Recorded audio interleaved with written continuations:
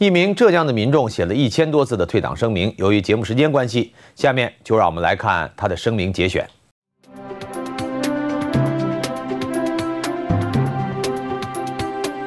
浙江的张选择说：“为什么中共政府要建立网络防火墙？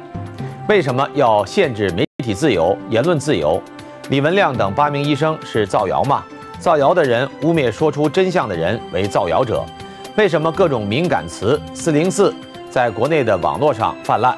共产党所做的一切，目的就是要阻碍中国民众获得真相，使得共产党的谎言得以在中国延续。”以前只以为共产党贪污腐败，学会翻墙上网后，了解了无数事实真相。近期的武汉肺炎又是一例对共产党邪恶本质的体现，不断的造假资料，隐瞒疫情，所谓的可防可控、有限、人传人，最终造成全国乃至全球的感染扩散。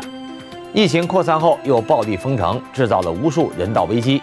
看到封城导致经济要崩溃，涉及政权稳定了。